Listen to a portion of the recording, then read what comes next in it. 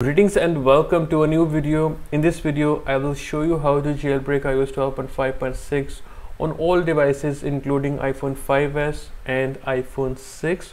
So you can check it out that I am running iOS 12.5.6 on this iPhone 6 and I have considered using Chimera and I'm seeing incompatible and on Unc0ver I am seeing unsupported so of course you can use Checkra1n the guide is in the description.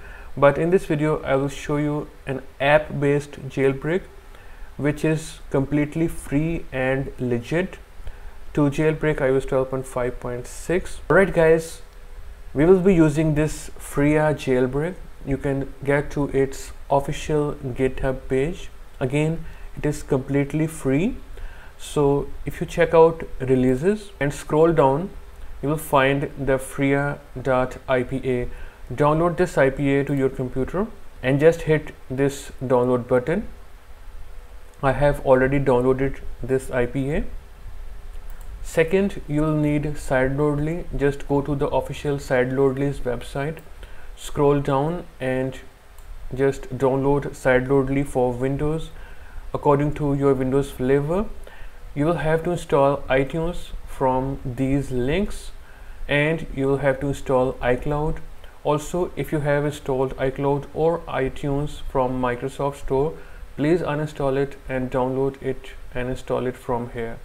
Alright guys now open Sideloadly and connect your iDevice via USB now put your Apple ID here and then select the IPA that you have downloaded so here is the IPA that I have downloaded open and then simply click start.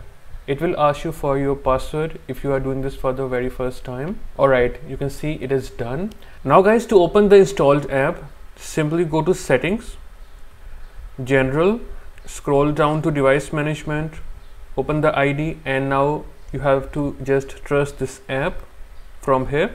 Now you can open the app now guys you will see this message simply hit ok and then hit this arrow and then select time waste. Now simply swipe down and hit jailbreak. And the process will start and then it will install Cydia now your device will reboot here. Hit ok now after the reboot go in and again open the Freya app. Now hit jailbreak again. Now let this process complete and this will install Cydia for you. So the process is almost complete. Now your device will respring. And after the respring when you go in you should see Cydia let's open it and guys here you can check it out that I am successfully jailbroken on 12.5.6 iPhone 6 and everything is working sources changes installed everything is 100% working. Now to make sure that I am on 12.5.6 you can see that Chimera and Unc0ver still show unsupported. Alright guys enjoy your jailbreak and please test it on all the other iOS 12.5.6 devices. And tell me in the comments because I have only tested it on iPhone 6 because I have this only device I will see you in a new video. If you still want to ask something you can ask me in the comment section.